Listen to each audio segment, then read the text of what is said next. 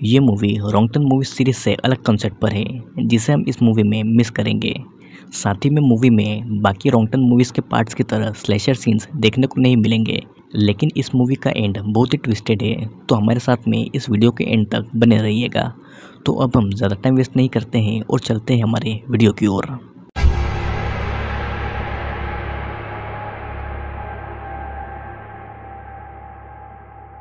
शुरुआत में हम एक ओल्ड मैन स्कॉट को देखते हैं, जो कि पुलिस स्टेशन में अपनी गुम हो चुकी बेटी की रिपोर्ट लिखवाने आया था, जो कि अपने पाँच दोस्तों के साथ में शहर से दूर टाउन में ट्रैकिंग करने गई थी, लेकिन डेढ़ महीने से उन सभी छः लोगों का अता पता नहीं था।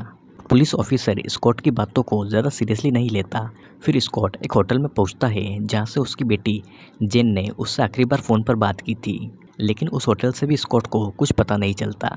फिर जैन के फादर टाउन के एक बार में पहुँचते हैं, जहाँ पर उससे एक आदमी कहता है कि अगर उसकी बेटी और उसके दोस्त जंगल में गए हैं तो वो उसे ढूंढना बंद कर दे, क्योंकि जंगल से कोई भी ज़िंदा वापस नहीं आता और ये सीन इसी के साथ में यहीं पर ख़त्म हो जाता है। फिर अगले सीन में डेढ़ महीने पहले की स्टोरी दिखाई जाती है, जब जैन और उसके बाकी के फ्रेंड्स ट्रेवलिंग के लिए निकले थे। वे सभी छः लोग थे, जिसमें जैन और उसका बॉयफ्रेंड डार्लस था। मिला और उसका बॉयफ्रेंड एडम और उनके साथ में एक गे कपल भी था, जिनका नाम लुइस और गैरी था। वे सभी फ्रेंड्स डार्लस की कार से थे और तभी अचानक कार का एक टायर फटता है, जिससे कि गाड़ी अनबैलेंस होती है और उनका एक्सीडेंट होते होते भी बचता है। फिर वे जल्दी से अपनी कार का टायर चेंज करते हैं और आगे टाउन की ओर बढ़ते हैं, लेकिन कोई उन्हें जंगलों के बीचों बीच से देख रहा होता है और उन्हें इसकी कोई खबर नहीं होती। फिर वे उसी होटल में चेक इन करते हैं, जहाँ पर जैन के पिता आए थे। होटल में चेक इन करते समय जैन और उसके बाकी फ्रेंड्स को होटल मैनेजर ये वार्निंग देती है कि अगर वो ट्रैकिंग पर जाने की सोच रहे हैं तो ट्रैक के रास्ते से बिल्कुल भी ना भटके और फिर सभी उस होटल मैनेजर की बातों को इग्नोर करके अपने रूम में चले जाते हैं, जिसके बाद वो सभी टाउन के बार में पहुँच जाते हैं, जहाँ पर उनकी बहस एक बूढ़े व्यक्ति से होती है, लेकिन जैन जैसे तैसे उस झगड़े को संभाल लेती है।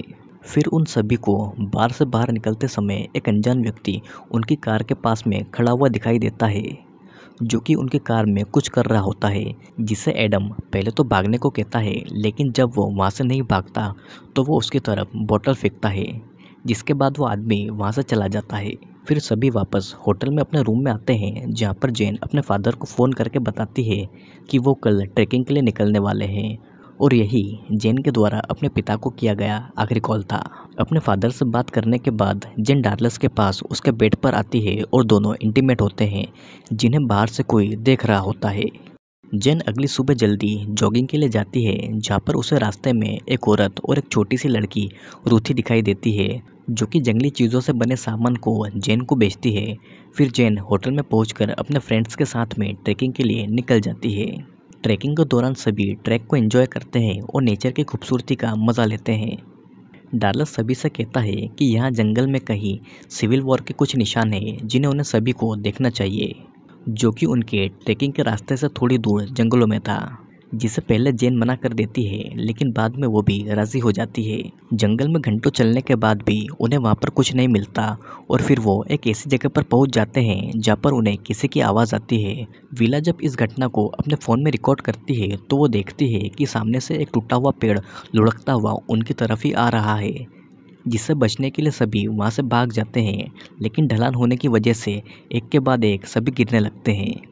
सभी जैसे तैसे उस टूटे हुए पेड़ से अपनी जान बचाते हैं, लेकिन गैरी इतना खुशकिस्मत नहीं था।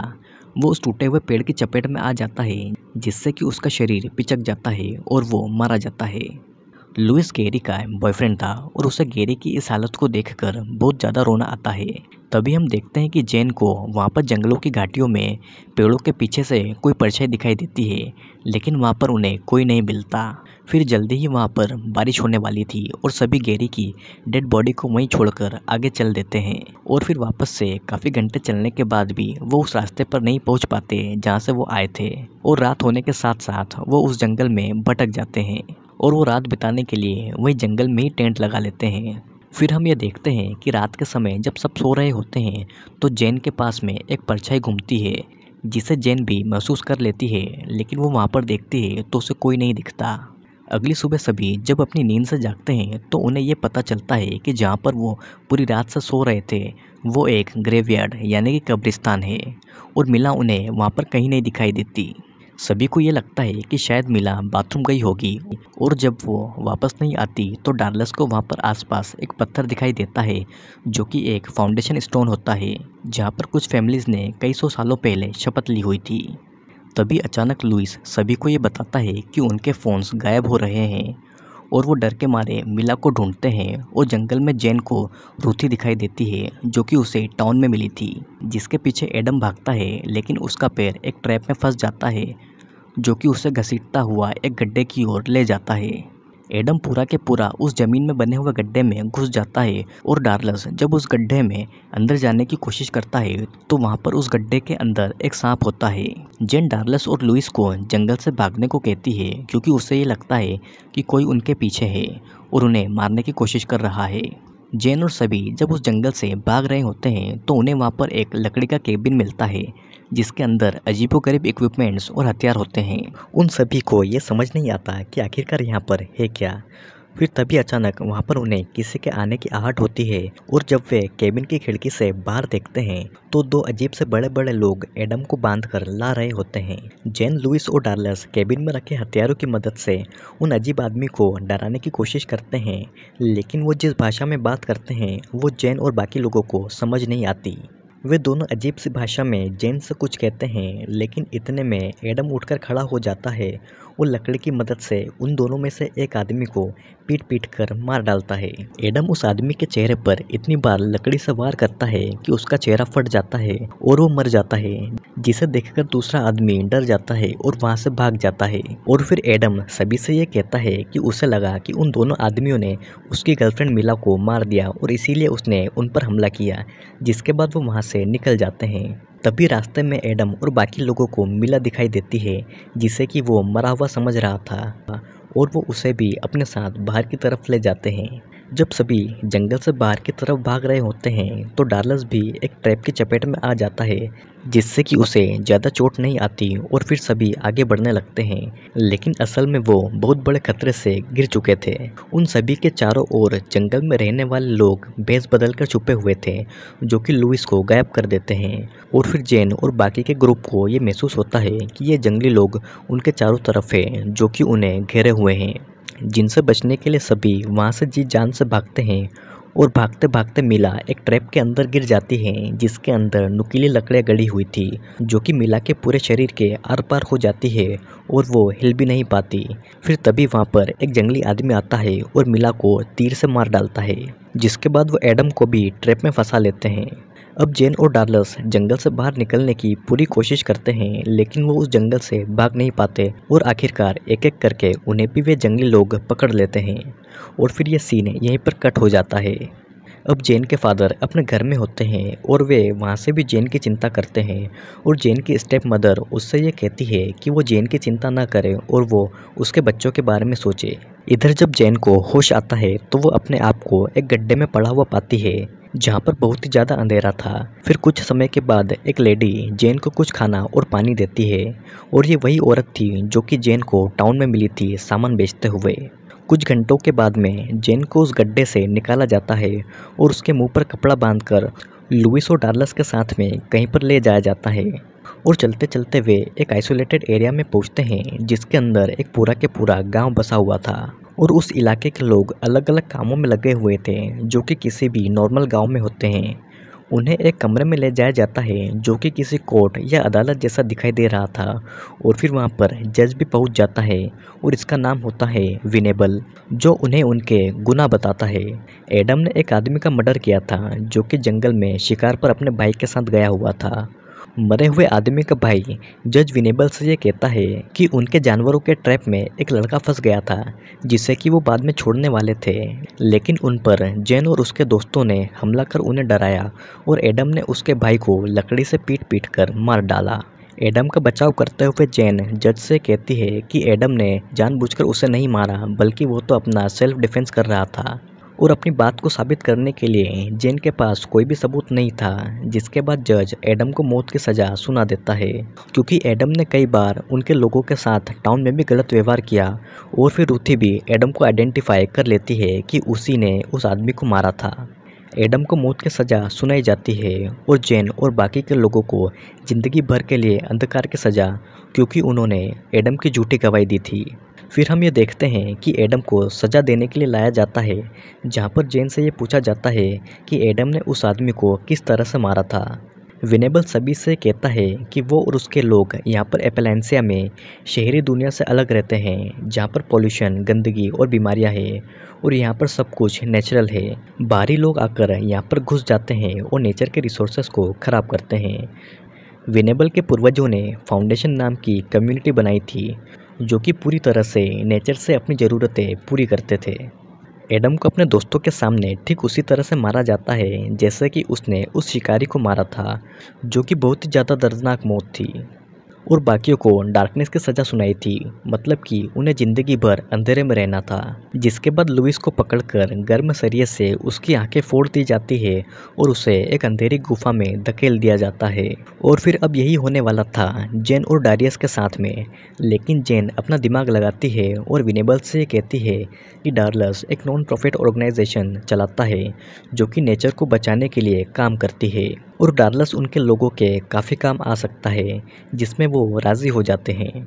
डार्लस तो अपनी स्किल के ज़रिए बच जाता है, लेकिन जेन के पास में ऐसा कुछ भी नहीं था जिससे कि उसकी जान बचे।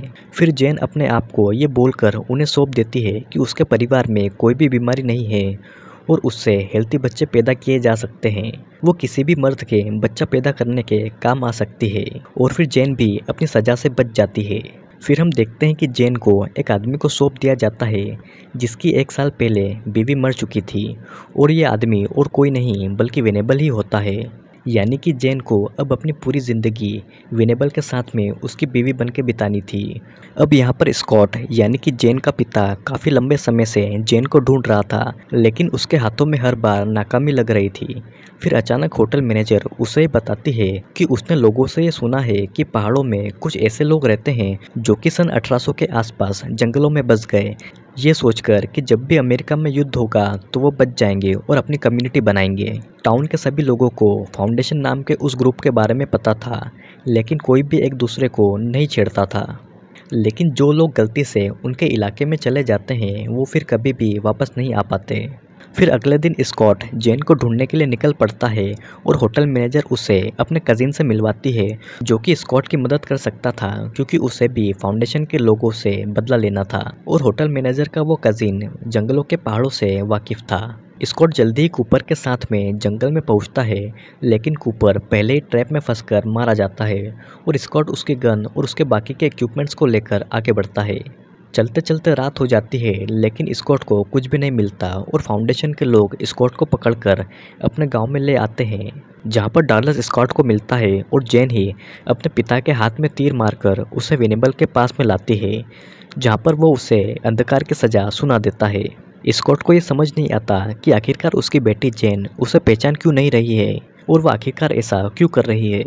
तभी रात के समय में जैन विनेबल से बचकर अपने पिता को छुड़वा लेती है। लेकिन डारियस उसे पकड़ लेता है।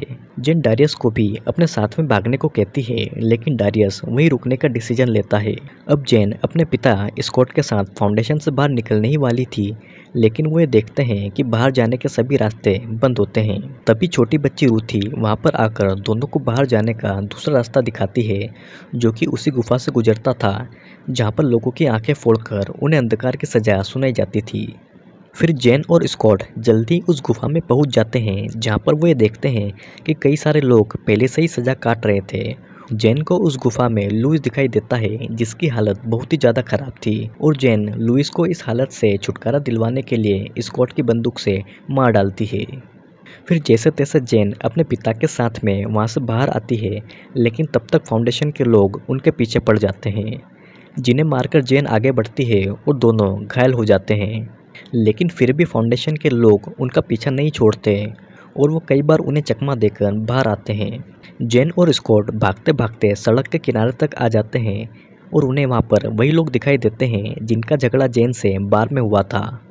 वो लोग भी फाउंडेशन से दुश्मनी रखते थे क्योंकि उनका एक नेफ्यू छः साल पहले जंगलों में गायब हो गया। वे सभी लोग फाउंडेशन के लोगों पर गोलियाँ चलाते हैं और बदले में वो भी उन लोगों को मार देते हैं। जेन अपने पिता के साथ में, उन लोगों के ट्रक में बैठ जाती है और तभी वहाँ पर विनेबल भी आ जाता है। विनेबल अपनी पत्नी जेन को आवाज़ लगाता है, लेकिन तब तक वे लोग वहाँ पर आग लगाकर भाग जाते हैं और विनेबल बस उन्हें भागता हुआ देखता रहता है।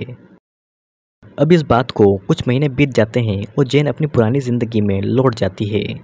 फिर एक दिन होता यह है कि जब जैन अपने घर पर पहुँचती है तो वहाँ पर विनेबल दिखाई देता है और वो भी मॉडर्न कपड़ों में। जैन को ये फील होता है कि वो प्रेग्नेंट है और विनेबल उसका बच्चा लेने के लिए ही वहाँ पर आया हुआ है। जैन को विनेबल को अपने घर पर देखकर बहुत ज़्यादा गुस्सा आता है और वो एक पल को ये सोचती है कि वो विनेबल को मार डाले, लेकिन विनेबल उसकी पूरी फैमिली को ख़त्म कर सकता था। जैन कोई भी गलत कदम नहीं उठाती और वहीं रुक जाती है। वो विनेबल से डील करती है कि अगर वो उसकी फैमिली को कुछ नहीं करे तो वो उसके साथ में ज़रूर चलेगी। जिसके बदले में विनेबल भी उससे ये प्रॉमिस करता है कि वो जैन की फैमिली को कुछ नहीं करेगा, बदले में उसे जैन और उसका बच्चा चाहिए। जिसके बाद हम ये देखते हैं कि जैन विनेबल की वैन में बैठकर चली जाती है और उस वैन का रास्ते में एक्सीडेंट हो जाता है। वैन के अंदर जैन सभी को मार डालती है और वो रुचि को लेकर बाहर आती है और इसी के साथ इस मूवी का यहीं पर एंड हो जाता है। तो दोस्तों, रोंगटन के इस पार्ट में आपको वो स्लेशर देखने को नहीं मिलेगा, लेकिन स्टोरी वाइज अगर हम देखें तो ये मूवी एक बहुत ही बेहतरीन मूवी है। देखा जाए तो ये मूवी काफ़ी बेहतरीन है, लेकिन हम इस मूवी के traditional villain Kenny three finger और डोनल्ड को मिस करते हैं। और ये तीनों ही रोंगटन मूवी के खुखार विलन माने जाते हैं, लेकिन इस पार्ट में फाउंडेशन नाम की कम्युनिटी है, जो कि सन 1800 से इन जंगलों में नेचुरल रिसोर्सेज पर आश्रित होकर रहते हैं। फाउंडेशन के लोग बाहरी लोगों को यहाँ पर आने पर घुसपैठ की सज़ा देकर मार डालते हैं या फिर उन्हें कैद में रखते हैं, लेकिन उन्हें कभी भी वापस जाने नहीं दिया जाता, क्योंकि अगर वो बाहर चले जाएँगे तो उनकी पोल खुल जाएगी। टाउन में रहने वाले लोगों को ये पता था कि फाउंडेशन जंगलों में रहते हैं और बहुत ही ज़्यादा खतरनाक है, इसीलिए वो उनसे दूरी बनाए रखते हैं। और ऐसे ही जैन अपने दोस्तों के साथ में ट्रैक पर जाती है और डायरियस के कहने पर ट्रैक से रास्ता भटक कर जंगलों में पहुँच जाती है। और इसका अंजाम बहुत ही ज़्यादा बुरा होता है, लेकिन एनी हाउ जैन और डायरियस बच जाते हैं। जैन को तो उसके पिता स्कॉट बचा लेते हैं, लेकिन डायरियस वहीं फाउंडेशन में रुकने का फैसला लेता है। जैन वेनेबल के बच्चे की माँ बनने वाली थी और वेनेबल अपने बच्चे को लेने के लिए वापस जैन के पास आता है। तो दोस्तों, कैसा लगा आपको ये वीडियो? कमेंट करके ज़रूर बताइएगा। और अगर वीडियो अच्छा लगा हो तो लाइक ज़रूर करें और हमारे चैनल को सब्सक्राइब भी ज़रूर करिएगा, क्योंकि और भी कई सारे वीडियोस जल्दी ही आने वाले हैं।